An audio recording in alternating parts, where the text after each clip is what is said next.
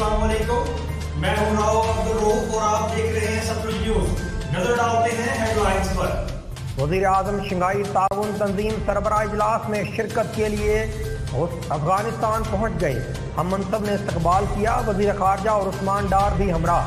وزیر اعظم عمران خان کی روسی صدر سمیت مختلف ممالک سے سربراہان سے ملاقات۔ پاکستان وقت ایشیائی تجارتی منڈیوں تک رسائی چاہتا ہے۔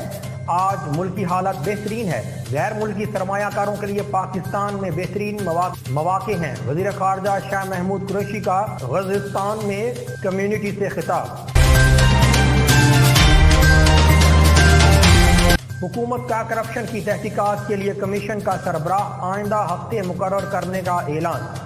فردوس عاشق اوان کہتی ہیں، پاکستان کی ترقی کے لیے بجٹ کی کڑوی گولیوں کو میٹھا کر کے نکلیں۔ تین بار ملک کا سربراہ رہنے والا جائیدادیں بنا رہا ہے۔ سونے کا چمچہ لے کر پیدا ہوئی راج کماری سیاسی اور سمائل وسائل استعمال کرتی رہی۔ شریف خاندان نشان عبرت بن کر بھی کچھ نہیں سیکھا۔ پاکستان کو کھانے پینے کی اشیاء میں خود کفیل بنانے کا مشن حکومت کسانوں کے لیے سولر ٹیوب ویل منصوبہ شروع کرے گی۔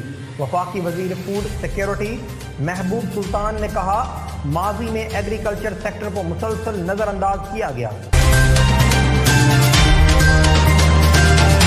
وزیر اعظم کا خطاب، دھمکیوں اور گالیوں کے علاوہ کچھ نہیں تھا۔ حکومت جو قرض لیتی ہے ریکارڈ کا حصہ ہوتا ہے۔ وزیر اعظم کمیشن بنانے کا شوق پورا کر لیں۔ ہم نے ترقیاتی منصوبوں، دہشت گردی کے خلاف جنگ پر پیسہ لگایا۔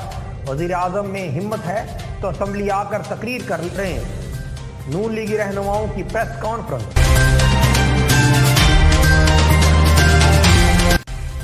مزید اپڈیٹس کے لیے ہماری ویب سائٹ وزٹ کیجیے۔ www.satlujdnews.com